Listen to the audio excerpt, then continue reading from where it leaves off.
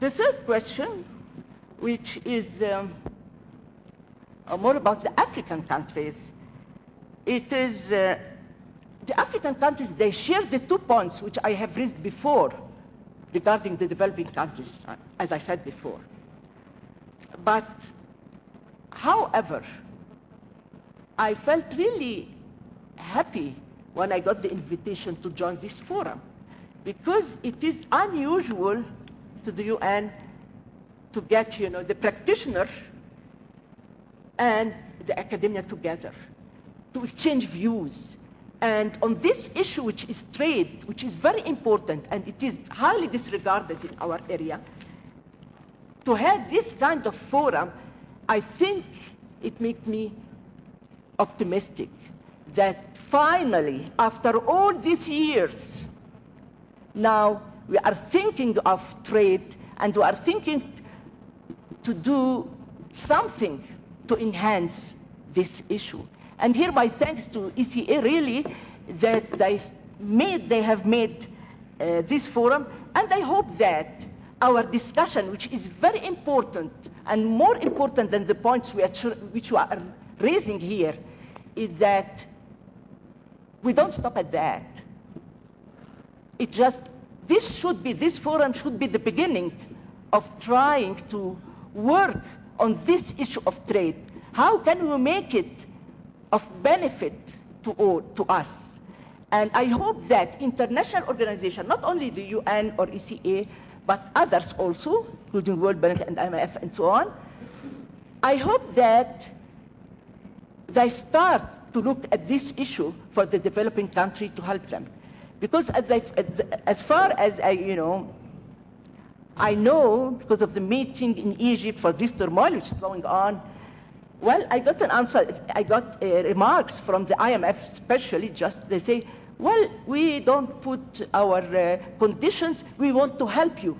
And just tell us how to help us. And if this is the case, all of us, the developing countries, including the African countries, and here it's important, the African countries, because as we know, poverty is well spread here. Poverty, low growth, bad income distribution, all that.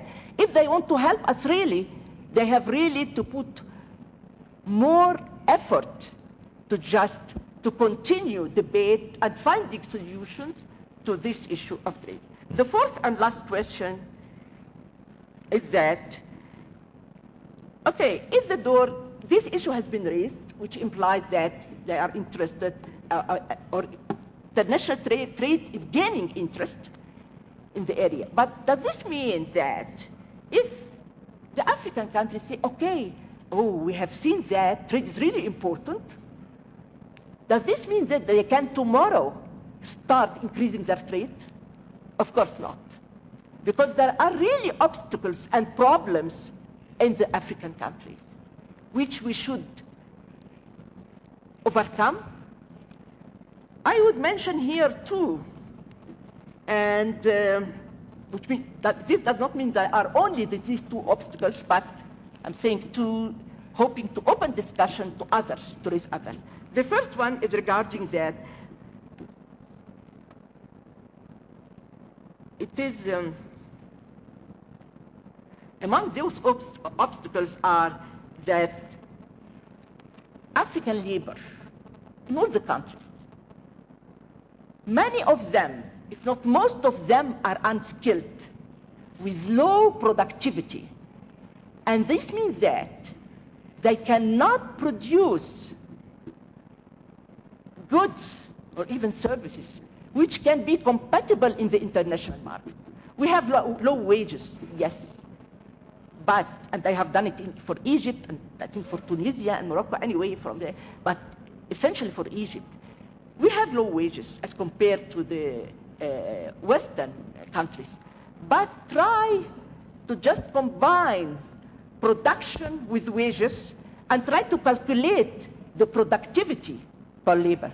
You'll find that ours cost much higher than those in the uh, developed countries, although they pay much higher wages. This is one of the obstacles which we have to get aware of. And this, of course, with training, with uh, uh, trying to increase education, not necessarily, it's not theoretical education, but education which really related to the market. I mean, there are alternative solutions, but this has to be known and that we should be aware of that and we should conduct serious studies, and here I, I put underline under serious studies, to come up with alternatives to trying to overcome this obstacle. The third obstacle, the second obstacle is um, is the highest transportation cost within Africa and between Africa and other worlds. This is a representative of the deteriorating infrastructure, the, the, in, the insufficient means of transportation, etc. And we know that transportation cost of goods is part of the cost to be internationally competitive. Then, and this has been raised several years ago, but nothing has been done. The answer will be, will be okay, this needs large investment. How can you get this investment, this large investment? This is not a satisfactory answer, at least for me as an economist who have worked on development, etc. Because if you are really seriously in, interested to solve that, this problem, you can seek the investors. And before seeking them, you can calculate and just try to explain the cost and benefit, how much they will profit if they get in to get that. This will be done gradually. And there are different ways in financing those investments and in looking for those investors, you know. But the point is that we have to get the will to do that and know this is really an important, an important problem for increasing the trade in Africa. Thank you. Good point, Professor. And I think I can add one more obstacle to that. You mentioned those two very important ones. Was one more that's really crucial if this country is this continent is to to meet its goals, its visions energy. Whether it's hydro, whether it's geothermal, whether it's wind, you need energy. And the higher the costs, the higher the prices, and the more unaffordable goods become. But we'll discuss more about that. Right next to you, Professor, is Dr. Joseph Atta Mensah. He's the Director of the Office of Strategic Planning and Program, Program Management here at the UN Economic Commission for Africa. Doctor, your thoughts?